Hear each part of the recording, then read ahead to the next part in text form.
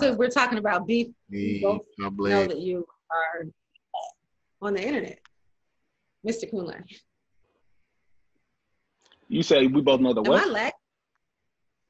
You're good at beef. You do beef. Moi? Uh, Moi? Me? I'm good at beef. I think so. I think so. Um, I'm, mean, you know, it's I'm just waiting Facebook. come out with a whole look. Look, you need to do a Verzuz with somebody. I'm waiting for a Kunle verse. Don't nobody want that smoke. Don't nobody want that. Oh, Anybody ready? To, ain't nobody ready to go 20 years? Nah, man. 20 years with Kool-Aid? Niggas ain't ready. Yeah, man. You know, I got, I got some, I got some jokes in the tuck. Nah, they don't want that. Man. You say you got some jokes tucked away? You say you yeah, and I say I got some stuff in the tuck, some stuff you know that's that's like, yeah. Before people knew about me, I got some, I got some heat that you oh, know if that come out. Or you got to go to the underground because that's when you was hungry. Yeah, That's when you yeah, was, when you was broke. exactly. When you wasn't getting them royalties. Exactly. Coming in now, you- You comfortable man. now. Yeah, man. you know what I'm saying? They, they only know about the last two years and stuff, but it's it's about ten solid years in that in that. Right, right, right. Now you got them streaming Yeah, checks coming in. They looking all right. Exactly. Just a little bit, you know. Can pay can pay the bills on time. Cool. You know? Hey, you got to be able to do that. Uh, Got to. Yo, I'm excited, y'all. So we here, we live, we recording, we live on Facebook. Um, had a, had a couple def, uh, couple technical difficulties, as you can tell. There's some changes in the layout, but it's all good. You know what I'm saying? We keep it moving, we keep it rolling. We always surprising y'all doing something different, surprising ourselves sometimes. But it's all good. Uh, so we're gonna go ahead and get it going. Welcome back, y'all. Street Academy podcast, where we keep one foot in the academy and one foot in the streets. This is what we do. We appreciate y'all for joining us, for uh, subscribing, liking, sharing the shows. I've been getting a lot of love. We've been getting a lot of love. People have been been, been saying they listening and they just enjoying what we got going on right here. So we're gonna get right into it. Um, as you can tell, we have a special guest in the building. Uh, a good friend of the podcast. He he's been a friend, but kind of off the camera. You see what I'm saying? Uh, by way of the one of the other co-hosts who could not be here today. Um, our co-host, as you can tell, Dr. Hater, aka Jackie, could not be here, and so in her place, uh, and it's so interesting because the topic for today goes right up. Like this, this brother, like God allowed it to happen this way because um, I don't think Might that have to anybody else could speak to this topic better than this brother right here. This brother, uh, who is the partner, uh, the life partner, the love of our co-host, who we gonna show love to. Hopefully, she feels better, Jackie. Um, this brother's from Chicago, uh, Illinois. He is uh, an artist. He is a CEO. Um, he is a thinker. He is a philosopher. He is better known as the king of trolls, the king of Facebook. Like he, he he is the king of beef. What we talking about today is beef, and he is the king of it. And that's why I feel like Jackie would have been good, but I don't know if Jackie brings beef like like Kunle brings beef. So I, I, that's why I said it because I was Okay. waiting for the response. Right? Nah, B. nah, B. so so we just want to introduce uh, a good friend to the podcast. I've known this brother for a minute, man, and and art together. Um, and he has a recent album that just dropped. Um, and so you know we'll definitely give him a chance to talk a little bit about that. The album has been doing very well, streaming all over the place. Um, you, as you probably heard, he getting a couple royalties off of that. Things is looking good things is happening. So super proud of his brother, y'all. So show your love for my boy Kunle. Appreciate y'all having me. Thank you for coming in at the at, at the at the last at the last second and hitting the last second shot. We Yeah, appreciate that. We no appreciate that. problem. We appreciate that. So Yeah, Yeah. wife, wifey hit me up said she wanted me to come through. So, you know, I'm like, uh, you know, it's always good to get brownie points to the wife. You feel me? okay, So for sure. yeah. For sure. Well, we we appreciate you greatly.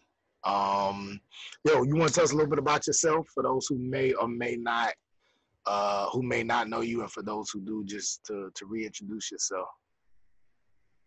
Yeah. Um, see, I am a graduate of the illustrious Oakwood University. Hey, Uh, Oh. BS in biochemistry. Oh, Um, okay. let's see. I'm yeah, I'm getting my master's. I'll be done in May in marketing, research, and analytics. facts. Congrats. Um, appreciate it. Have an album out. I've I've been working on music for about 20 years, but I, I put out what I guess would be my debut album. I kind of like reinvented my sound. Um, and it seems like I've sa- found my sound now. So I have a new project out called Remember Me When This Is Over, which is a project I made during the pandemic. Um, and it's doing really well. It's out on all streaming platforms and whatnot. Uh, I am the creative director of Free Dope Creative, which is a platform for Black entrepreneurs and Black creatives, um, which is also doing really well right now. Um, so I'm very excited about that. Uh, I am the husband of Dr. Hater, aka Jacqueline Forbes Owolabi. Um, and yeah, I'm just I'm just here to to enjoy the festivities and uh, you know do what I can to fill in my place. Yo, yeah, we greatly appreciate it, y'all. We Thank you. gonna we gonna definitely show uh put his links down and his info down so y'all could go check out check out uh our boy uh Kunle. He's doing great things in the digital space and the creative space. So Amber, what's good? Talk to us. Hey, do I do an introduction? Oh no, I'm doing the introduction to this entire conversation today. Okay, so y'all, we are in 2020, and 2020 has wrecked us so bad um, in so many ways that I feel like, and I've been seeing people on, in the internet land and just in life have begun to anthropomorphize 2020. That means to turn 2020 into a person, into something that we actually materialize and say, "Man, I hate you, 2020. I don't like you. You you upset me." Blah blah blah. Um, I don't know if you all have seen this. uh, I really don't like the commercial, the Match.com commercial, where 2020 is a woman and she's matched with the devil, and they they match and then they're like in love and everything. And they're like, you know, some matches happen. It's an awful commercial. I think it's really poor marketing, but Oh wow. it's like it's the idea that the devil in 2020 fell in love and that they're a great match together. Um, but anyway, that that's what 2020 is a that's what. it's kind of I, I think that's the part that kind of gets me. Well- 2020 had to be a woman. Well, but 2020 of all women, she was she's a white woman, and that could be that woman. could be appropriate. Depending on how you look at it. She's a young white woman, kind of looks, looks fairly middle class. Um, looks like her name could be Karen. So It could be it might be actually could be Karen, could be Kelly Loeffler, could be uh, Yeah, could be Betsy DeVos. not mad at it. Nancy, so it's a, it's just like if you were to choose a figure to represent 2020, perhaps that's correct. However, all that's to say that we have, I think, people in this generation have feelings about 2020 as an entity because it's been so strong on us. And as people know, you know, um, just in in the annals of history, people get defined by well, generations get defined by significant events that happen when they're living uh, specifically typically when they're like teenagers to 20s but i do wonder that this generation everyone who's alive right now could be considered like the pandemic generation. And Mm. so it makes me wonder how will this pandemic generation respond to the pain of 2020 like how will we uh, process the beef that we have with 2020 because 2020 has done a lot of things. It's a bad relationship. It kept getting worse. And mm. so part of this conversation right now is to talk about beef, period. So, like, if we have beef for 2020, how can we get through the beef that we have with 2020? And that begs the question how do we typically deal with beef in our lives anyway? How will we move? How do we typically get through bad situations with other people? Because that's probably also going to be how we get through the whole processing and dealing with our relationship with 2020 and everything that 2020 has done to us. So, today we're going to talk about beef and forgiveness in the context of 2020. Um, but first, we're going to start with what is beef to begin with? How, like, where did beef come from? What is it? And then later we'll start thinking about how do you actually deal with beef? What is forgiveness? How do you, um, how soon is it, how soon is too soon to begin forgiving? All of that. So that is what we're going to be talking about today. We're going to be talking about personal beefs, uh, also how we got through these beefs, grudges, the whole nine. Because we're hope, hoping that all of us come 2021 have some perspective about how we deal with 2020. Because it's it's like a bad breakup. It's like it's you still feel the effects of 2020 in 2021. More than likely, we're gonna feel it. It's not just gonna be like a switch. It's like it's still in your chest. So that's where we're going. Ooh, wow. All right, let's do this. So, John, can you start? Can you start with us just saying what is beef? What is beef? Um, where did it come? How how did that song? Beef is when a nigga like you can't. I knew it was coming. I knew it was coming. Got it. How that uh how that went? Beef is when a nigga like something. I forgot. I missed that show. That was a good series. That beef series. Um man, I, man, beef, beef is. So I think I think beef is different from like holding a grudge, right? Like, like you can hold a grudge, or you you know somebody can do you wrong. That's one thing. Beef, I think, is bigger, right? Beef is is when you know we I don't you know there's something that a person does to another person, but what turns it from a grudge or I don't like you or I didn't like what you did to me to beef is when other like principles start getting involved and other people start getting involved and it becomes it it it, it sometimes gets out of control because there are other there are other entities and it's almost like um like a concentric circle. You know what i'm saying? It it just it it, mm. it grows into other things and gets um um, it gets integrated into other parts of life. And then that's when it becomes beef right so i like like i think an example would be everybody was talking about the beef between gucci and jeezy and the fact that gucci and jeezy let's you know had you know they didn't have beef over a song right? I know everybody talks about the So Icy song or whatever, and I'm not really sure exactly what happened. I don't know if they just didn't like each other, it was over some money, whatever. That's one thing, right? Um, typically, I think for men, you know, if, if, if we don't like somebody or, or, another dude does us wrong, um, even if it's over money, I guess it depends on how much money, but sometimes that's still not enough for it to be beef. You know what I'm saying? If it's just like a back and forth thing, or you just dirty, or it's just somebody I can't trust. But I think beef is when it when it you know when it gets to the point where now you have other people involved. Now my career is is is is hanging on the line. Now lives are at stake. Um, you know, reputation is at stake. More money is at stake. Um, you know, kids. You know what I'm saying? My children, like all these other different. Like I think that's when stuff becomes beef. You know what I'm saying? I think beef mm-hmm. sometimes, if we want to get all technical and like social or sociological, whatever, like it's more structural. You know what I'm saying? Mm-hmm. Now it's like bigger, mm-hmm. bigger entities involved as opposed to just two people not liking each other. Um, so that's that's what I think of when I think of like I think of beef, and that's why beef is is a whole lot harder to, you know, like walk away from.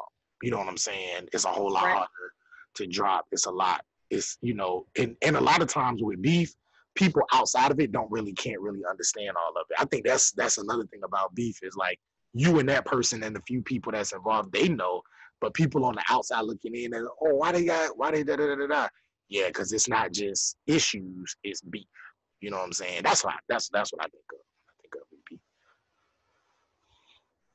I feel like that definition fits perfectly with 2020 because 2020 is just like it's personal and then it also affects so many other things in your life. So it's like it's affecting everything. So if 2020 was an entity, it's just like, okay, you started with me, you might have you, you affected like my daily life in terms of who I can interact with, who I can't interact with, perhaps my job. I think everyone's, for the most part, jobs were affected in some kind of way.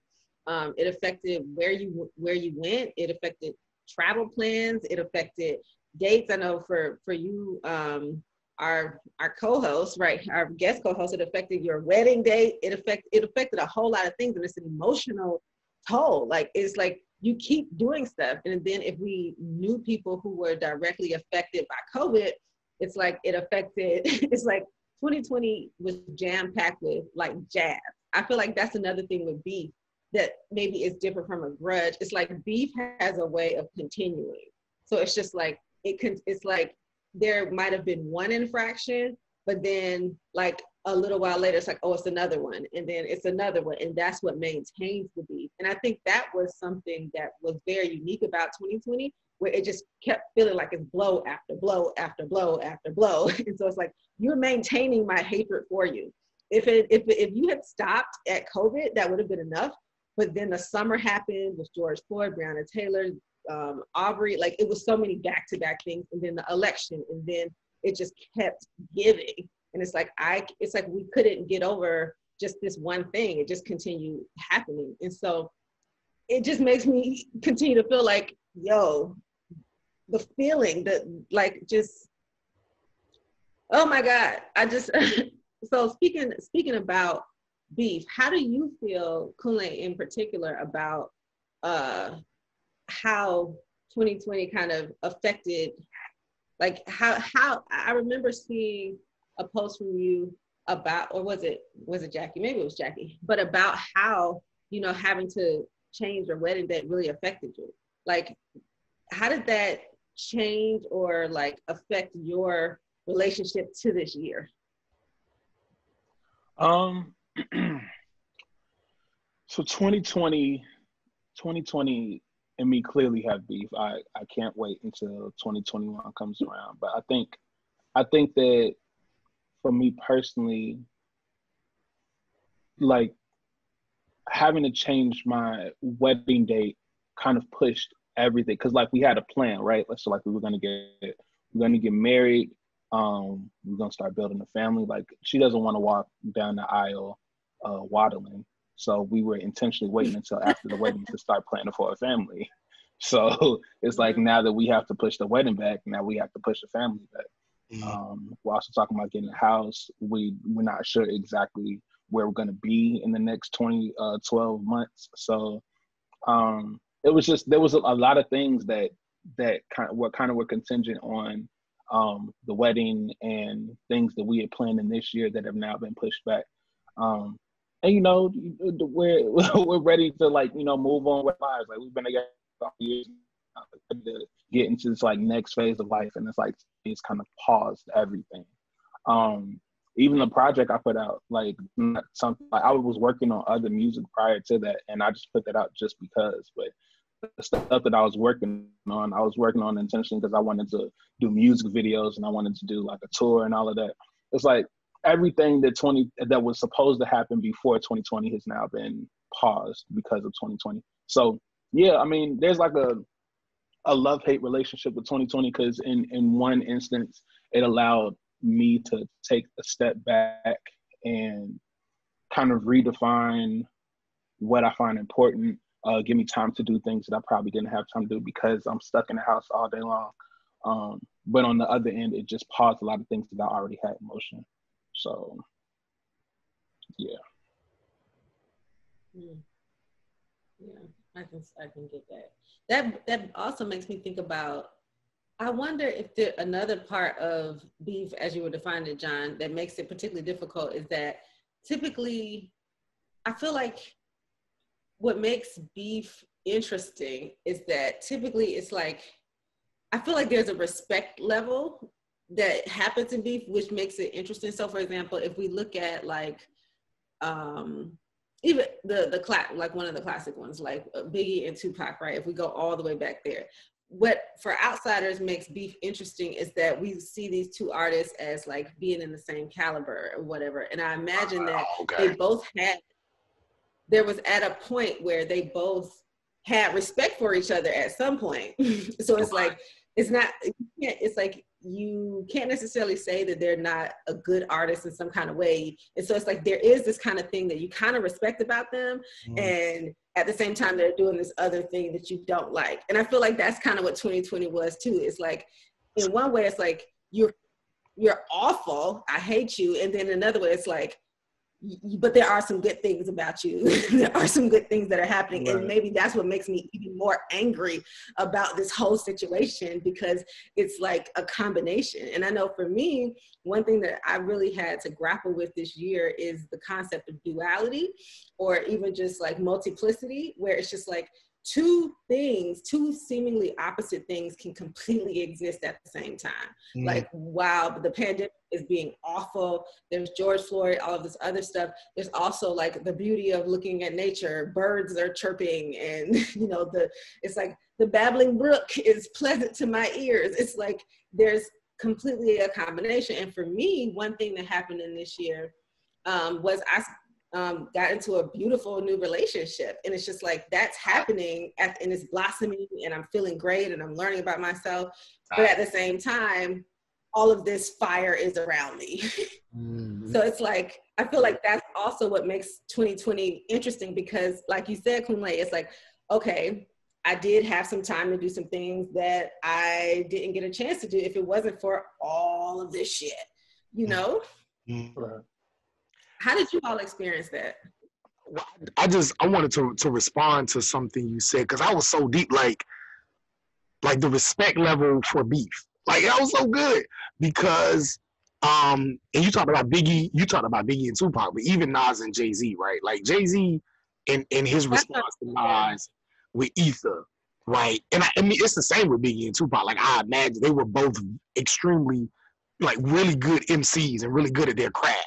So you know, it's it's almost like the saying like lions don't respond to lambs. You know what I'm saying? Like if a, you know what I'm saying? Like if somebody come to you and somebody wants beef with you or somebody wants static with you, if they're not on your level, if you a lion, if you a king, if you a young guy, like you're not gonna respond to that. Like I'm this this not even it's it's you're not even on my radar. It's it's not doing anything for me. In fact, it will help you more if I respond to you. So it's it's not it's not worth it. It's not worth my time. But. One of the reasons why Jay Z and Nas was such a, a, a, great um, hip hop battle, and Jay Z even talks about it, is because Nas is great, Jay Z is great. So you have two great people, and now it's like, okay, I have to respond because if I don't, this could affect my career. Because if, if Nas wasn't who he was, or Jay Z wasn't who he was, it's not a threat to me. So the thing about beef is the person has to be a threat to you and they're a threat to you if they have a certain level of respect, if they have a certain skill set, if they have a certain talent. You see what I'm saying? So there's a there, there- there's a I think that's deep what you said. There's a certain um, respect level to beef, right? And so with that being said, it was the same way with 2020. Had this happened in 2017 or 2018, would we be as upset? Maybe not. But 2020 was so respected because everybody's like, I'm going into 2020. It's a new decade. It's a new vision. It's a new, it's a new thing. Oh, I'm so excited. And then bam. So we had all this respect for 2020. We had all this love for 2020. This is gonna be great for me. This is my chance to, to to relearn, to redo, to you know, this is my rebirth. This is my year I'm gonna get married. This is my year I'm gonna graduate. This is my year I'm gonna do all these different things. And bam, this is my year I'm gonna get money. And then bam, job. Bam, I can't have my wedding. Bam, you know, all this stuff is happening. You know what I'm saying? And I think that's I think that's a big reason why we got beef. It ain't just it ain't just a grudge, like you said, with 2020 beef. Because I had respect for you. you. You was you was here. You wasn't like 2017, 2018, 2013. You was 2020. You was a new decade. How you gonna do this to me? Oh Right. yeah, yeah. We going hard. That's real.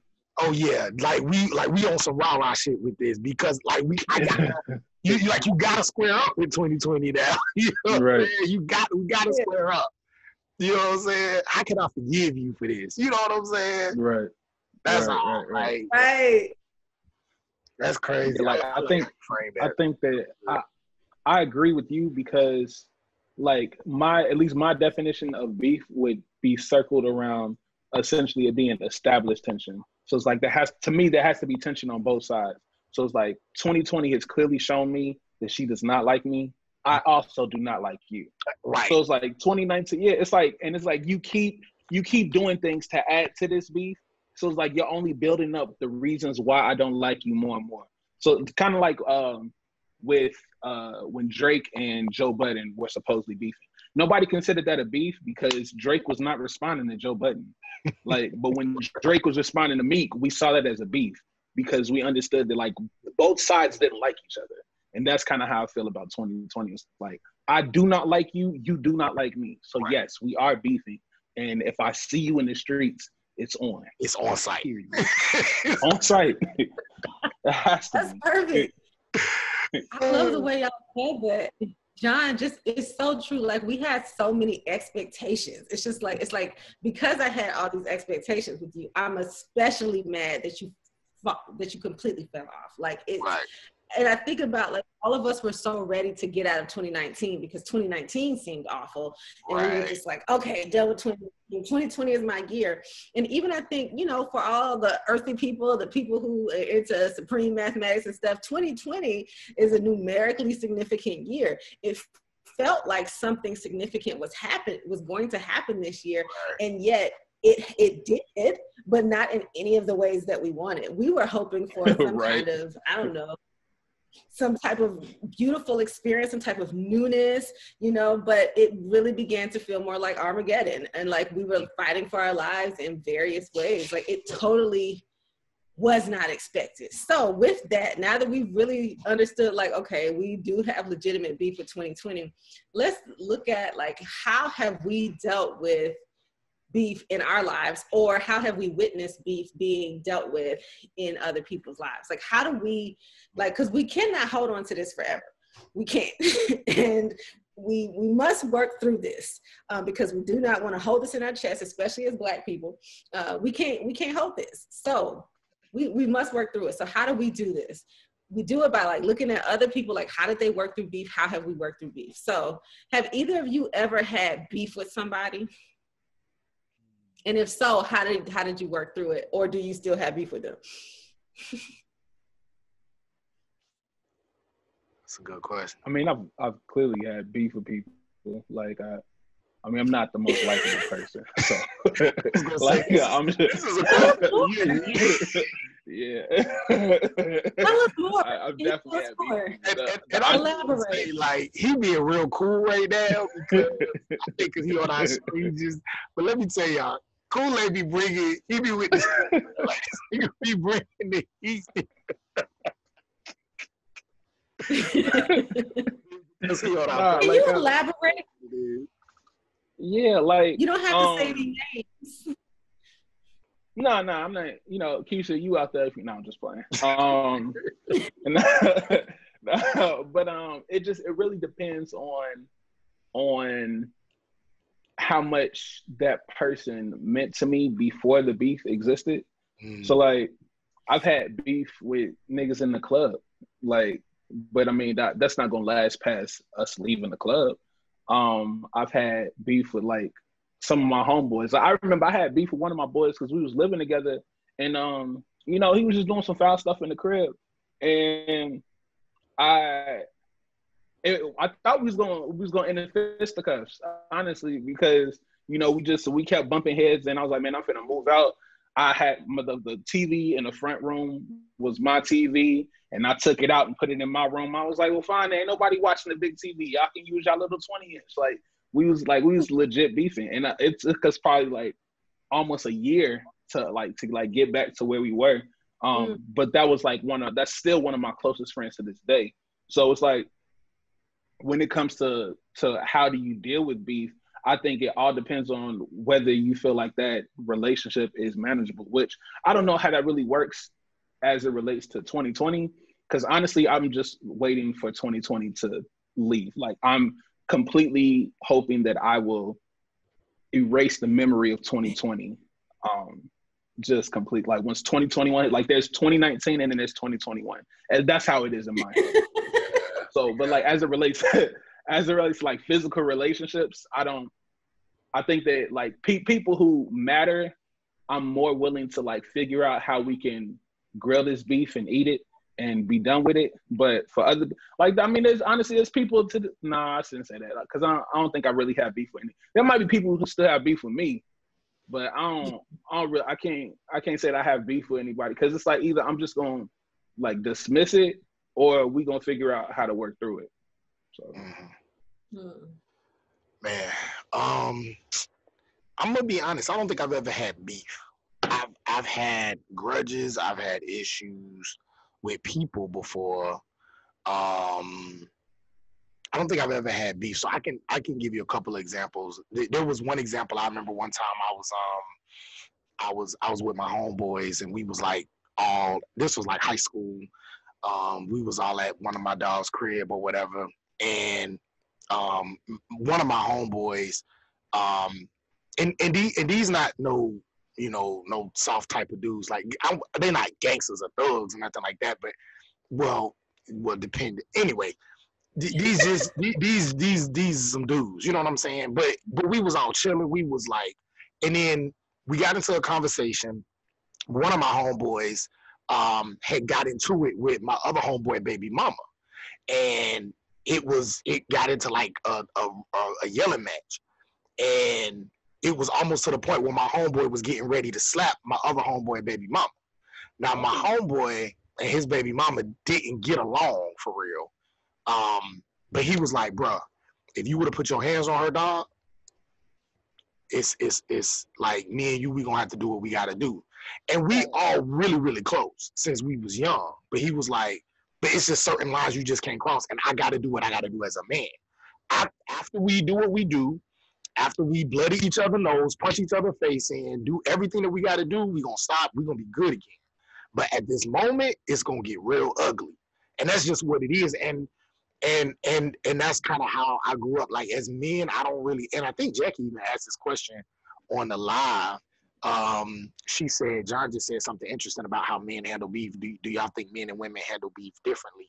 And I I can't speak to how women handle beef, but I know for men, depending on the situation and depending on what lines are crossed, beef can be handled or I don't know if it's beef as opposed to grudges can be handled real quick. Now it's intense and it's ugly, and sometimes, you know, if it's a grudge, it can be handled real quick, intense, sometimes a minute, two minutes, and then we'd be good. If it's beef, it can be a little bit longer sometimes, and depending on the situations and stuff like that, it could it could, you know, end up costing people's lives. But I, I think for guys, um, it's it's really, really intense, but only for a short period of time. You know what I'm saying? Um, and so that's that's how I, I've always kind of known that kind of stuff to happen um, when it comes to grudges or you know baby beef with with with, with guys. Um, I know for me, I've had people do me wrong, do me dirty, and usually the way in which I handle it, I, I remember, and so I end up going inward, and so I just kind of remove myself from those people. You know what I'm saying? Um, I don't trust those people, and they and they feel it and they know it. It don't mean I'm gonna do you dirty, um, I think there was one time. Well, I mean, I've gotten in fights before, but there was one time. I think the last time I was really about to get in a fight, it was at Oakwood, and it was um, one of my suite mates. He was he was acting crazy, and this was shortly after I got into Oakwood. So I'm still going through a. I'm I'm still transitioning into going to a different space in my life, and so I was going back to that other space. And I remember I, I ran in my room. I had grabbed some sticks because I was getting ready to go and beat his head in with these sticks and um and and my roommate grabbed me and he was like, "Don't do it." He was like, "Bro, you in school, nigga? Like, like you like you going somewhere? You know what I'm saying? Like you don't want to you don't want to get kicked out. You don't want to mess up your life over this." So he was like, "Just mm-hmm. just chill," you know. And so and and and I did, and I, I remember like sitting at Edwards Hall. And I was I was I was angry. I'm mad. I'm red. I'm sweating. I'm tears. Everything. And then I finally like calmed all the way down and like thought through everything. You know what I'm saying? Because again, it would have been intense, but then after that, it would have been over. But the repercussions could have been you get in trouble, you get kicked out of school. Now you don't have a degree, and now the rest of your life is altered because of a of a situation. You know what I'm saying? And so um, it's like stuff like that. I think, and then and from that moment over time, I've been better in terms of dealing with grudges and dealing with issues that I've had with people. Now, when it comes to like, but again, when I was talking about beef, I'm thinking like beef is bigger than the grudges, and that's why I say I don't think I've ever had beef to on a structure. When I think of beef, like I got beef with like George Zimmerman. You know what I'm saying? Like if I ever see George Zimmerman, and I probably shouldn't say what I would do because then it could it could get back. You know what I'm saying online. But you could imagine. Yeah. You know what I'm saying? Just like now that's right. because it's like it's bigger than just you know you got issue with a person like it's, it's structural, it's racism, it's loss of lives. Like I got beef with what white people have done to black people. You know what I'm saying? Like that's when I that's what I think of. Like that's ongoing. That's something that, and I guess it kind of leads to another part of the discussion. Um, I think I think grudges can be forgiven. You know what I'm saying? And grudges can sometimes be forgiven quickly. But beef, I think to a certain level, beef doesn't have to be forgiven. You know what I'm saying? I don't think we need to, or I think we need to rethink what we think, how we look at forgiveness when it comes to like beef. You know what I'm saying? When we right. when it comes to like big stuff, like I don't think the Jews need to forgive the Germans. You know, like I think that's that's beef. You know what I'm saying? Like no, like no, there's no forgiveness from that. It doesn't mean it has to hold you down or weigh you down or stop you from being a better person. But I think I, I think that we need to rethink. You know what I'm saying? That kind of you know, like how we move through um, beef versus grudges. You know what I'm saying? And then what kind of beef and and and and what has happened historically. You know, and so on grudges, on the grudges sense, you know, that's how I've handled grudges in the past, and that's how I've seen grudges handled in the past from a gender standpoint. But when it comes to beef and how big that beef is, some people, you know, believe that you know you can forgive and you should forgive, and maybe that works for some people, but I think for me, depending on what it is, I don't think we have to forgive. I don't think it's necessary. Um, or if we do, like, what does it mean? Like, what do we mean when we say we forgive? Are we just saying like we're not gonna think about it no more? We're just gonna move past it, or or are we gonna forget? You know what I'm saying? Or do we really forgive? And are we forgiving because we feel like we don't have the power to do anything about it? Or are we forgiving because we really do forgive that person? You know what I'm saying? those are just some of the things I think about. So I um so one I want to say I think Jackie's question is a really good question about like do men and women deal with forgiveness and holding grudges and beef differently. And I don't I feel like that we probably do in some ways. And but I feel like that would be a whole nother conversation for another podcast. So we might have to save that. As I was listening to you all talk though, um, I also don't really have too many beefs in my beef beefs? Do you use beefs? What's the plural of beef? Beef. Beefs? Beef. Oh yeah. I don't know. I don't know. It's like sheep and no. So I don't have too many beefs in my life either, but I thought it was interesting to listen to you all describe how you might have dealt with it. And one, I feel like Kunle, you were saying basically like you take the TV out of the room, put it in yours. That's pettiness.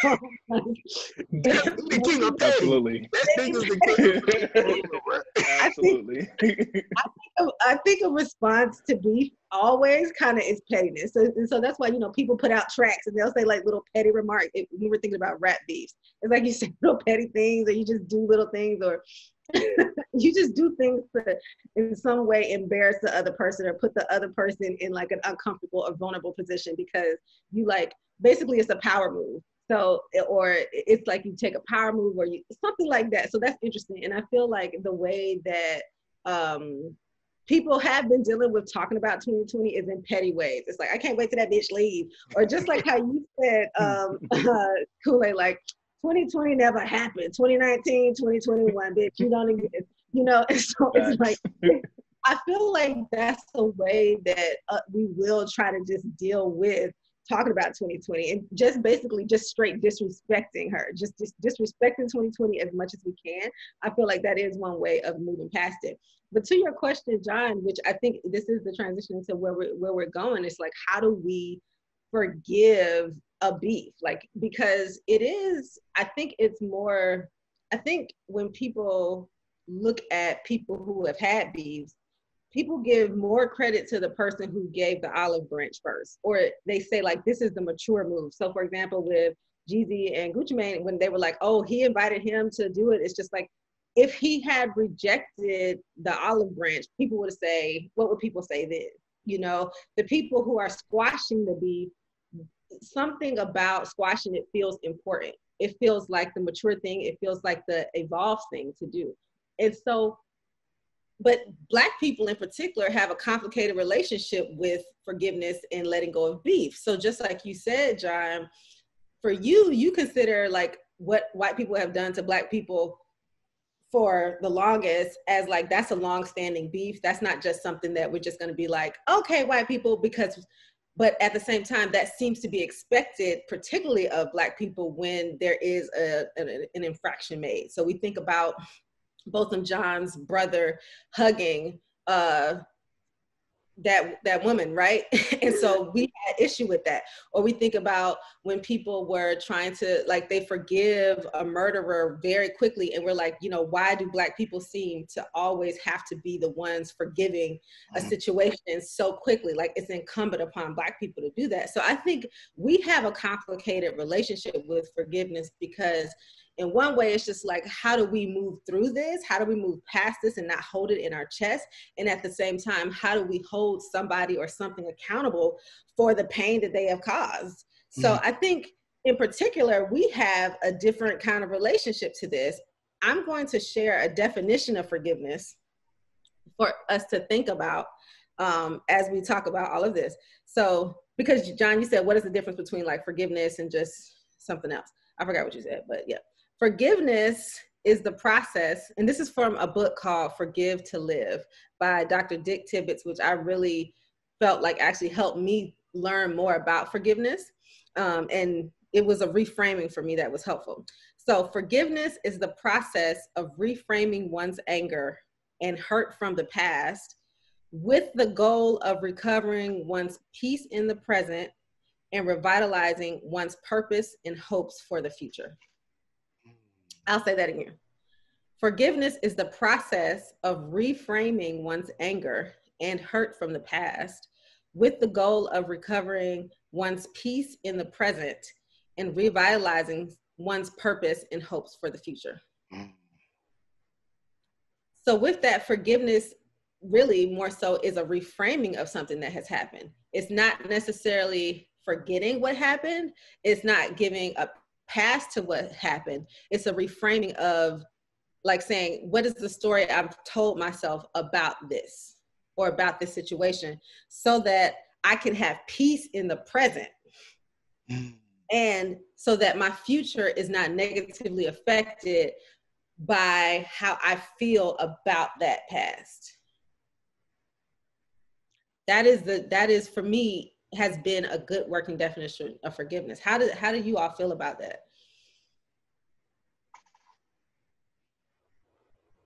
I, hmm. I, oh my bad. Look like something. Yeah, Kunle, you like you was gonna say something. Uh, yeah. So I think that I think that like when I look at, at different periods of my life, I think that based off that definition, the root was understanding.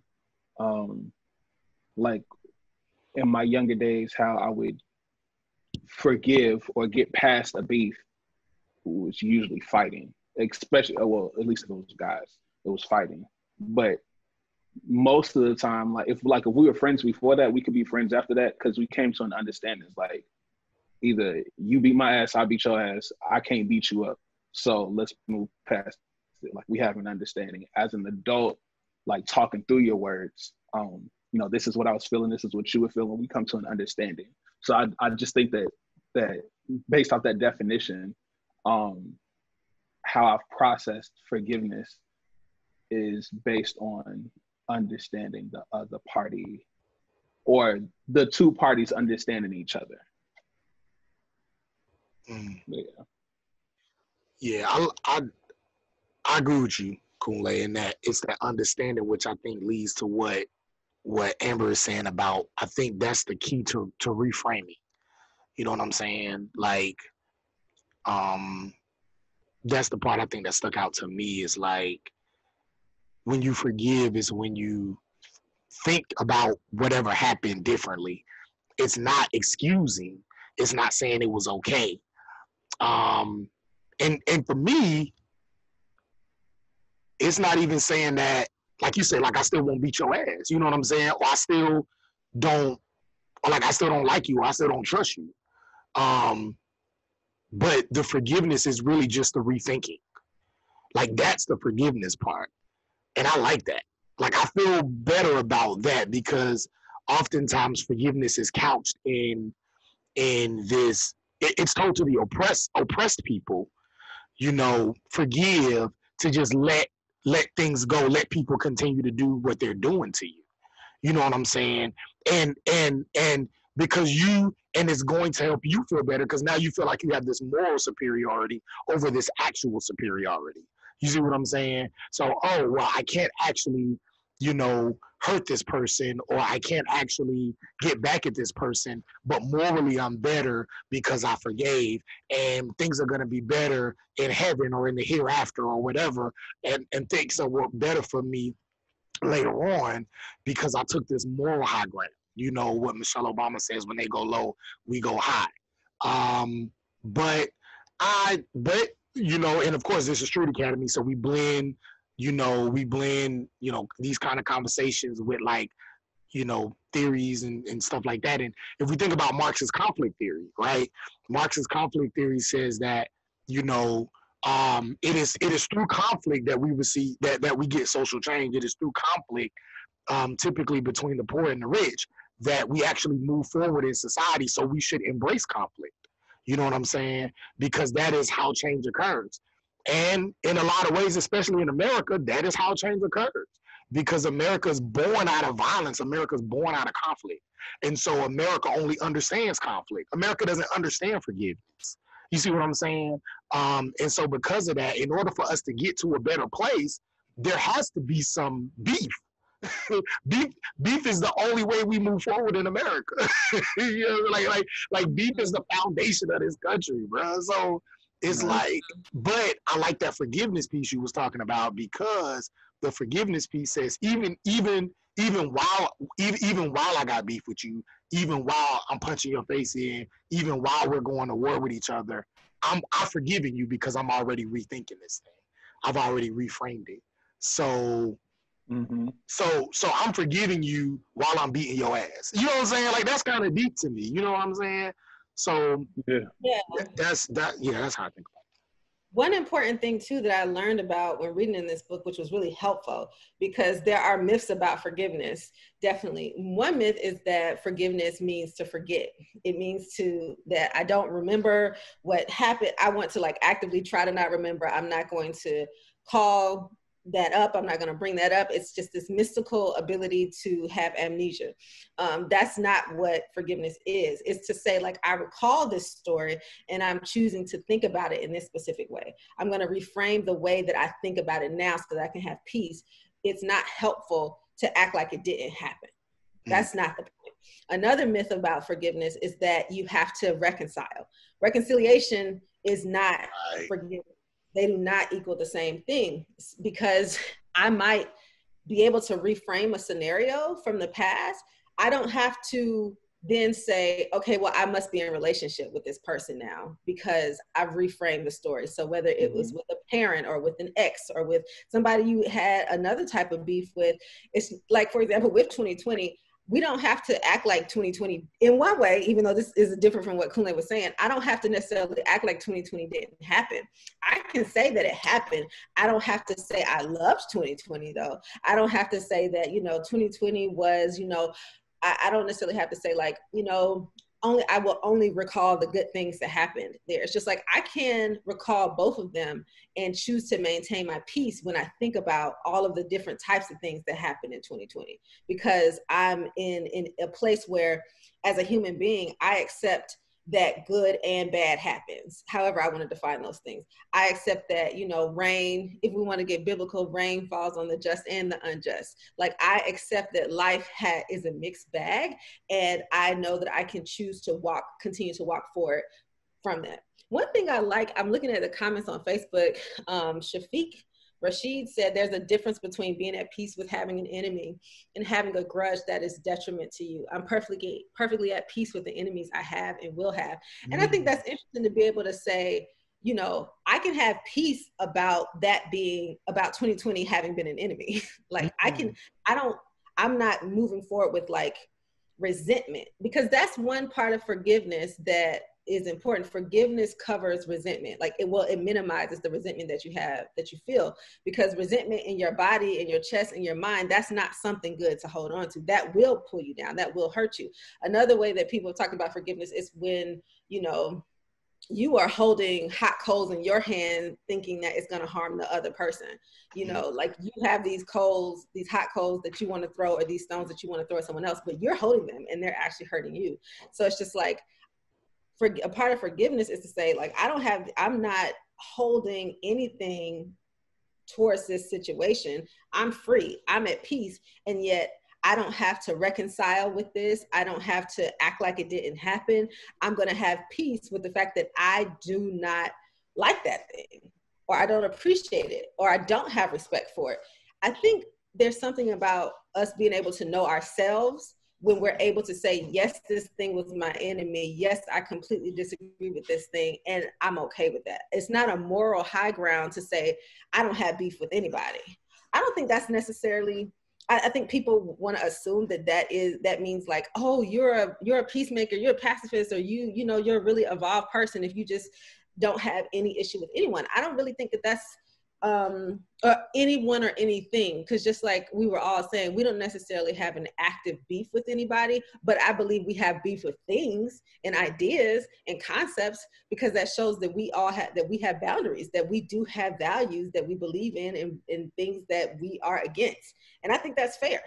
So i feel like all of that just comes together with this concept of being able to reframe a story so that i can have peace in the present. It's not about holding on to like harmful feelings about something or someone.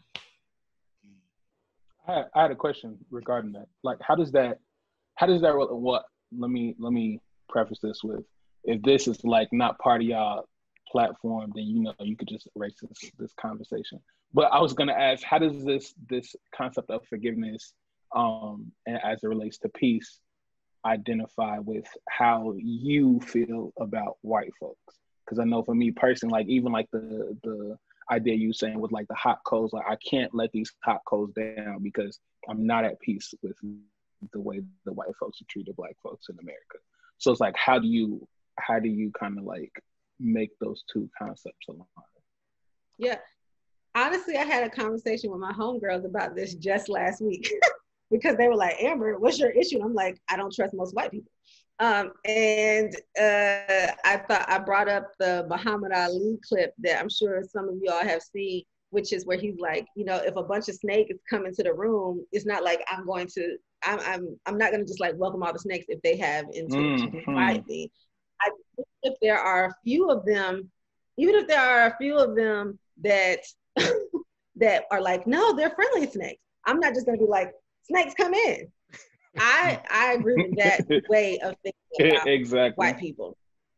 I think a lot of white people. I think there are some good white people out there. Absolutely, I think there are wonderful, peacemaking, loving white folks. And by and large, there are. It, it seems to be, as I perceive it in the world, as I perceive it through the history of the entire planet, it seems to be that there are more white people who do have it out for people like me. And that they do have venom that's directed at people like me. So I'm not going to be naive to think that more than likely, out of just looking at data and not trying to be naive, that I can't necessarily trust an individual with this phenotype or with this experience because this is what they represent and this is what they have continued to represent. So how do I like try to? I'm, I'm not gonna just like blindly trust a bunch of white people, and at the same time, I'm not also gonna blindly trust anybody at this point because we also know that it's not just white people. It's you know, you know, who, whoever the hell else in your life. It's not like just because a person is black, I'm gonna be like brother or sister. Although I do do that more now than I think ever before. I'm like my brother, my sister. You know, yeah. however, because I feel like what gives me peace right now is to moderate my trust of white people. And that's what how I'm trying not to hurt myself with rage because I'm like, I'm open to a degree to be to trusting. No, no, no, no. It's it, okay, let's see. I and, and this is a working practice, okay, that hmm. I'm trying to when I think about white people, right? Because my, one of my friends got on me. She was like, "Well, you know, maybe Amber, if you were around more white people since you were a child." Because her question was this: She said, like, when was the first moment when you realized that you needed to not trust white people? And I was like, it was actually when I went up to school in Cambridge, which was when I was like 27. My other friend said it was when she was in kindergarten with her kindergarten teacher.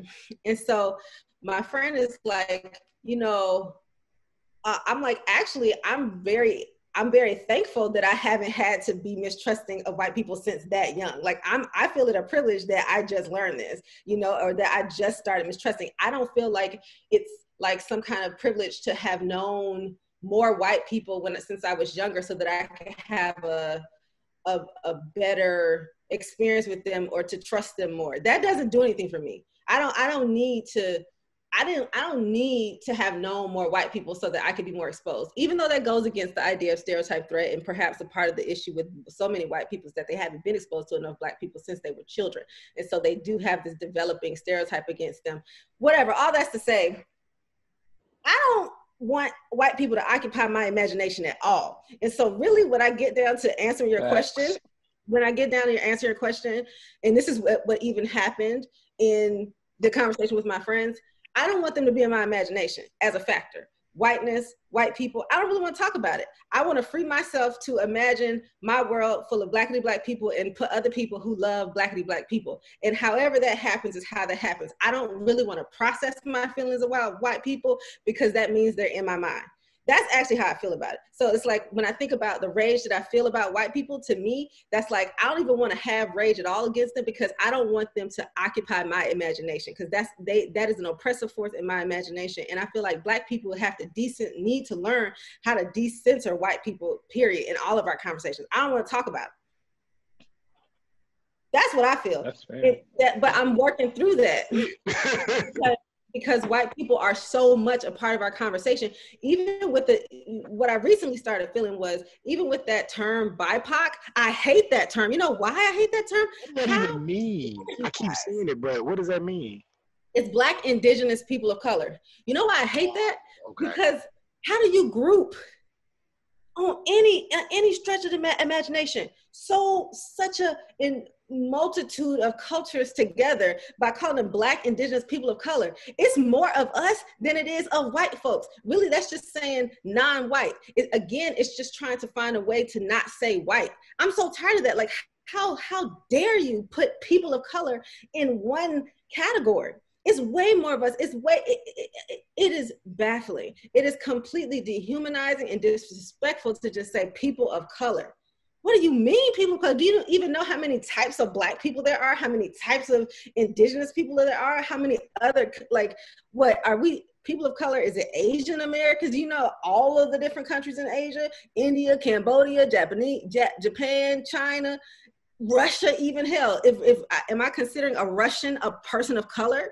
Mm. No. Anyway, I all of this makes me mad. Um, yeah, I'm mad. I'm just I'm trying to work through it though. Just like you, yeah. it's like, yes, this is something I'm working towards in terms of like being at peace. So I'm still working through it, but to me, for, for me, the way I'm trying to have peace about the anger that I feel, like the coals that that I feel about white people, is to just release it because I don't want to. I don't want to have it. Mm. I don't. I don't want to have it at all. I don't want them. I don't want them in my mind. I know they have to be there. Maybe that's unrealistic, but like literally, I'm working towards that. Shoot for the stars, you'll reach the trees. So yeah, that's what I'm going for. Complete. Like I don't want to think about y'all. I, I, wanted to, and I wanted to even bring up this this um, this this one dynamic too, because I think region and space and place plays a role. Um, you Amber growing up in Atlanta, you Kunle growing up in Chicago. So I don't know how often you came across both of y'all came across white people like that, but I know both of those both of those cities are very segregated cities in, in, in the research, right? Chicago is very segregated. You have predominant black, whole black sides of town, um, where it's possible for you to move move about life and not really interact with white people much and it's even more in Atlanta. Like Atlanta's, I mean, you you know, in Atlanta, you could literally go your entire life, and somebody ask you, "Did you really interact with white people?" And you'd be like, "No, no, no not really. Maybe at the store. you know what I'm saying? Like you just don't. You know what I mean? And and to some people, there could be a certain level of privilege there. You know what I'm saying? To not even have to have them on your radar until you, you know, like you said, Amber, until you literally you left Atlanta, you went to a HBCU, then you went to Cambridge at 27, and that is when you really had substantial interactions with white people. And I don't know, Kunle, if, if that's your story, uh, and maybe you could speak to this, but I know for me growing up in Jacksonville, Florida, I did have interactions with white people. And so, really um, had some interactions with them. How, what happened? And I don't know, Kunle, that story. Uh, and maybe you speak to this. Oh, that's you. Oh, that's I'm like, when did somebody else get on here? Yeah. Oh, I'm sorry. I'm sorry. That's my computer. Oh, I, I was like, what happened? I'm looking back at my. um, um, but yeah, but for me, it was it was different because I had, you know, I went to school with white people, even in elementary school and that sort of thing. Even though my neighborhood was predominantly black, um, so I, I, had to some degree interactions with white people. So I understood very early at nine years old the concept of race. I remember one of my first fights was with a white boy because he said something racist to me, and I was not. I was in the fourth grade, and I got this. I got this dude hemmed up on the wall. You know what I'm saying in fourth grade. So, you know, it like I just I remember that. You know what I'm saying? Um, and so and and so I think that that kind of plays a role in in you know beef and conflict particularly from a racial standpoint. And I, I see that um, Jackie even said she said, let's go back to the Marx ideology of embracing conflict. Um, because I think if she was here, she would probably want us to stay there. Like, yeah, let's talk about this. You know, Jack, Jackie, be with, Jackie be with the shit, so she'd be like, yeah, let's stay. I like this. Um, but you know, I, I think it even leads to this this conversation around the vaccine, right? So now the vaccine is is, is coming up. And now people are like, you know, I've been seeing more and more black people online saying, go ahead and take the vaccine. But of course, most of us is like, Mm-mm. I remember Tuskegee, or I heard about Tuskegee. I know about Marion Sims. Not you know what gonna I'm saying? happen. Yeah, and all of, all of the um uh, experiments he did on b- black people, specifically black women, J. Marion Sims, the father of gynecology, Tuskegee experiment, all the way down to Serena Williams almost dying giving birth to her child, Kim Porter, her life, you know, she's she's no longer here with us. Part, part of the reason is because of the racism and sexism in the medical industry, right? She told the doctors that something was wrong with her. They didn't believe her. You know what I'm saying? So it was like all of these different things that are happening. Um, now you want us, black people, to just be so open to taking this vaccine? No, why? Because we remember conflict. We we we we got beef with the medical industry. We got beef with white folks in the medical industry. We got beef with doctors. We embrace this. We understand this. And and and and these type of things we remember. And so yes, it's causing us now to say we're not sure if we want to take this vaccine. And yeah, Barack Obama's like, well, I'll take the vaccine on, you know what I'm saying, on TV. And yeah, a black woman created it. I don't care. Y'all have used black women, y'all have used black people as puppets this whole time. What does that mean? That don't mean hmm. nothing. We are smarter than that. So we understand, like, you can't do people dirty for decades and centuries and centuries and now all of a sudden expect people to trust you when now your life is in danger and there's been a whole pandemic and now you like black people and other black people are like, come on, just no, no. Like it it's it's it, no like, makes sense. like you can't just expect people in one year because of a pandemic to forget you know, years and years of medical apartheid and, and, and structural racism. Y'all check out Harriet Washington's medical apartheid. Check out Dorothy Roberts killing the black body. All of these are books that have been written about the things that I'm talking about. You understand what I'm saying? So yeah, that's conflict, that's beef that we remember that we still got. So that's beef true. is real. you know what I'm saying? It's real. And and and so I, I don't know how how we gonna get past. I don't know how we gonna get us to trust the medical industry and get a lot of black people to take the vaccine, but we have a good reason for it. And white people have only themselves, and the white systems have only themselves to blame. Had you not done this for so long, then getting to this point, maybe we'd be more open to it. But you only have yourselves to blame for that because of what has been done to us. You know what I'm saying? So I don't think black people should look at other black people and get mad at us for whether we decide or, or, or decide not to take the vaccine because it's not because of what we've done to each other. Does that make sense? Facts. Absolutely. We're not here to. People keep sending me that thing. My bad. Oh no, go go go. No, I was just saying people keep people keep sending me that that that vaccine because if I'm not mistaken, it was a Nigerian woman who mm-hmm. either created it or was like the first person to take it or something like that. And they was like, "Well, that's your people, so like you should be good with it." I was like, uh, nah, that's not how this works. that's not how that works. yeah, it's like it's gonna be like for me, for me to take the vaccine, it's it's gonna be a couple years. It's gonna be because I need to see. Cause see, first of all, what you're not gonna do is have me be your lab rat. I'm not gonna be your test dummy. All these white folks can take it, and then you know maybe some some white presenting folks like it's gonna be a long time before my black ass take this this vaccine. like so, um, I ain't I ain't with you know like, if, and if everything if everything turns out cool, sure I take it. But like being on the front line to take something that's experimental, nah, man, y'all have done a whole lot of experiments on black people, and it's not gonna be another one. Not gonna happen. Not this time. Not in 2020, the year of the devil. No, sir. no. No. That's funny. I feel no. like I, John, I love how you brought that up, just connecting it back to like our beef, white. I mean, black people's beef with white people. It's like we're just not just going to forget that. That is not how it works. It's it's like a part of being. Right. I think, and I would say like my goal is to be evolved and mature and all of that. And I think a part of that is learning from the past. And how do I say like this happened, and there hasn't been evidence that that has changed like in terms of the medical industry's relationship to black people. That hasn't changed in a in a to the degree that i would like to have seen it.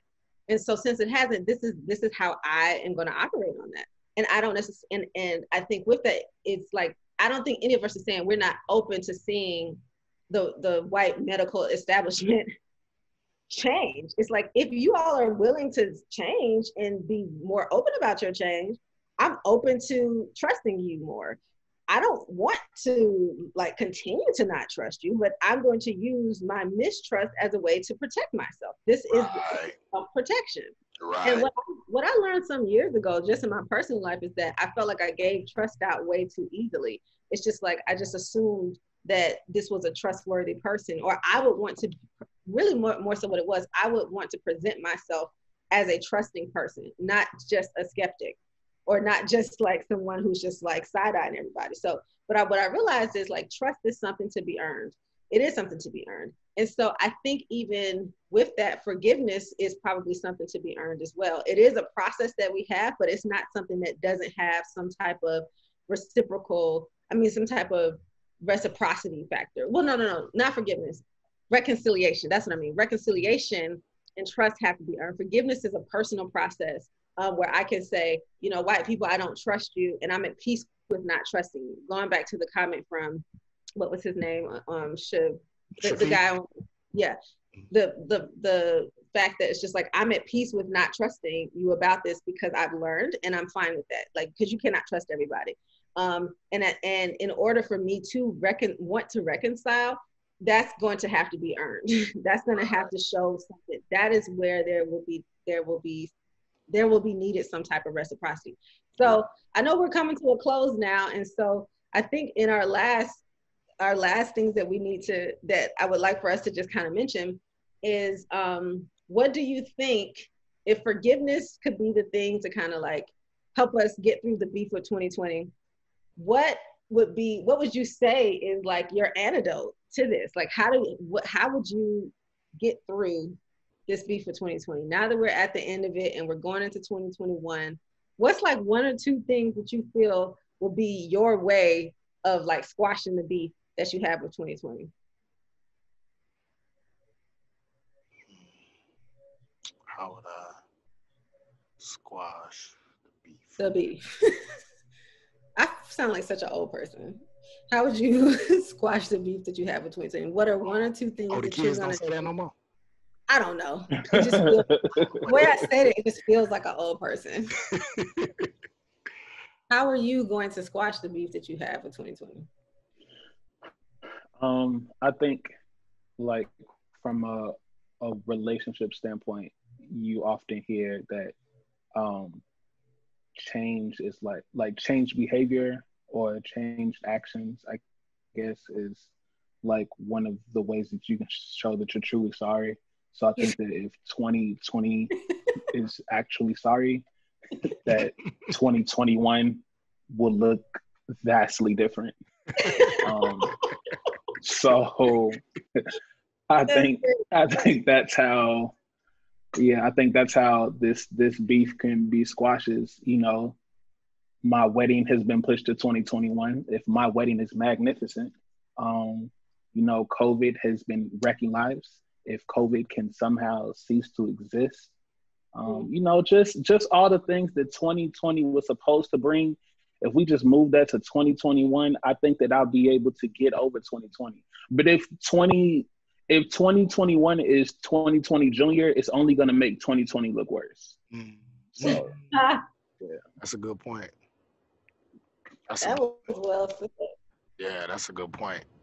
Um, and I think to even extend that too, like, I, so I know for me, 2020, there were some good things that happened for me in 2020. Um, praise God, my money really didn't wasn't really affected you know, in a negative way in 2020. Um, but there were also some some bad things um, and some traumatic things that happened for me in 2020, and so because of that, I've had to go on a journey of redefining myself and being reborn and and and being bold and being courageous and a, a very strong faith journey that I've had to go on this year. And so if if and I and although I hate the fact of the things that I've had to go through in 2020, um, I do like the person that I'm becoming. You know what I'm saying? If I'm to quote Michelle Obama, like I, I, I like who I'm becoming. I feel good about it, even though I hate the things that I've had to go through in order to become to to you know work on becoming that person. Um, and so I think if I'm ever going to forgive or move past, or you know, I don't know if I'll ever forgive 2020, but you know, you know, think reframe my thinking about it. Um, it would have to be me accepting who I was, who I, what I allowed 2020 to help me become that's greater than what I was before 2020. And if I can see that, if I can see out of 2020, I became a better person, then I can be okay with 2020. Um, still, um, I if if God was to tell me you're gonna have to go through this in order to be this better person, would do you want to do it? I would probably say no, because I don't want to go through that. That's that's too hurtful. That's too painful. Um, so I think that's why God don't don't show us. He just you just got to go through it because you're not gonna you're not going to understand how good it's going to make you in the end. You just got to go through it. But the person that you're going to become is going to be so amazing.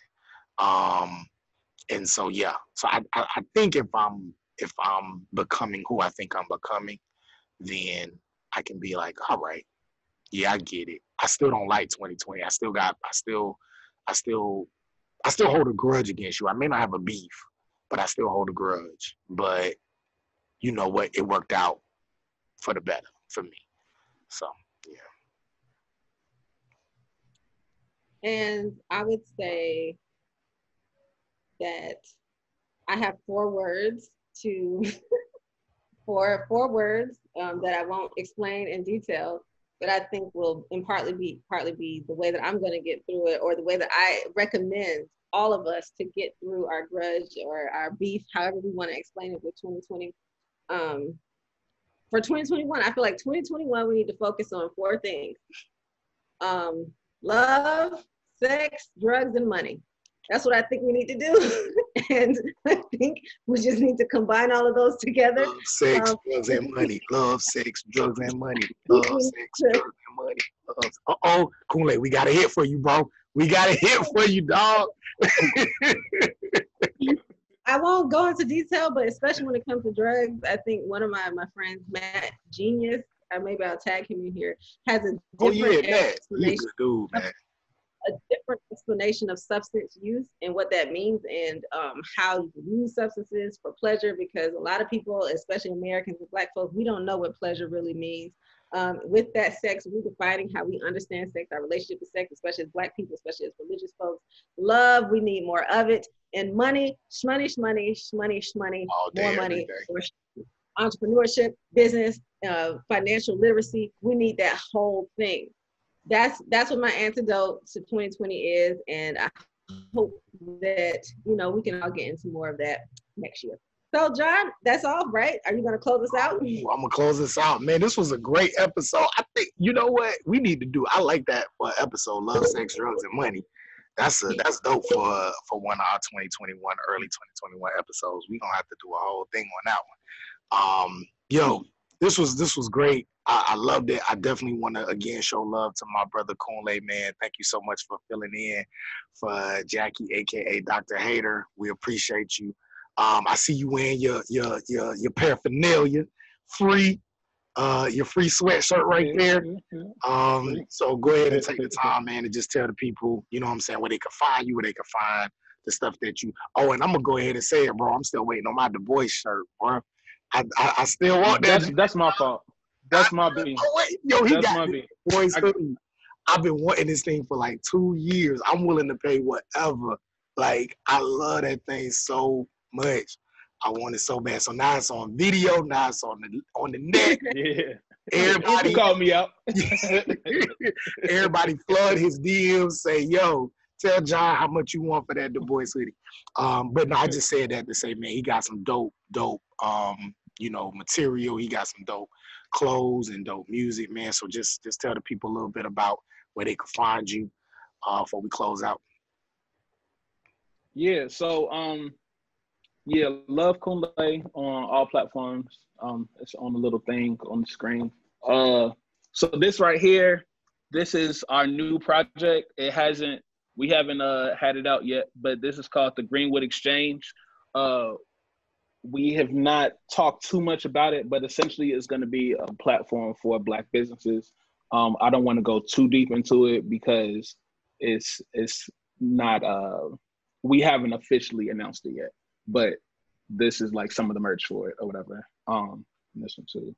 Uh, the the tagline has "Been Enough," um, so you can you can kind of figure figure out what we're going with that. Um, yeah, so freedopecreative.com. Uh, Free Dope Creative without an E at the end is our tag on everything, all social media platforms. Um, we have a lot of stuff in store for 2021, stuff that was supposed to happen in 2020, but it's given us a lot of time to redevelop thoughts and ideas and whatnot. So 2021 is looking very good for Free Dope Creative. Um, and uh, I started a podcast, a Teaspoon Toxic. Uh, episode two comes out tomorrow. I love it. Yeah.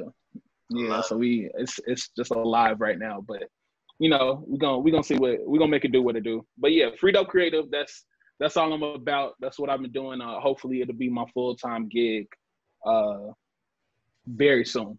Um, but yeah, the Greenwood Exchange, Free Dope Creative, freedopecreative.com. Uh, you can find me on that page on that that website. We're about to relaunch the website, but the the old version of it is still up if you want to check out what we're doing currently. Facts on facts. Any uh any any updates, Amber? Anything you want to talk to the people about before we close out? Oh, there's so many things that are continue to go on in my head. Um, so something will be coming soon. I feel like some transformation will be happening. So just stay tuned. Cool, cool. And yo, just want to let y'all know, Street Academy, we still, I haven't decided on whether 2021 is going to start a new season or if we just going to continue with this season until we, um, until our actual one year anniversary, which I think is like May, the end of the end of May, or when we actually started. Uh, I haven't decided yet, but I will say though that Street Academy podcast is continually growing. We got a special Kwanzaa episode that's coming up very soon with a special guest that's gonna be here. So y'all gotta y'all definitely make sure y'all tune in, follow us. Uh, follow me at J Paul Grant, J P A U L G R A N T, at Amber Kamilah. Um, also at Jacademician. You can follow us and find out when the next episode is gonna be. Um, you can also subscribe to our YouTube, uh, you know, to our YouTube, and that's always where you can, you know, where I put the link at, so you can go check out our full videos. So make sure y'all following us on social media so you can know where that is. Um, and yeah, Street Academy, we um we continually growing and doing great things. So thank y'all for joining us. Again, thanks so much to our special guest, our special co-host, Kunle. Um, and with that being said, all hearts and minds clear. Everybody good? Super clear. Cool. Thank y'all for joining us again, Street Academy Podcast. Thanks. We out. We said. oh, Yeah.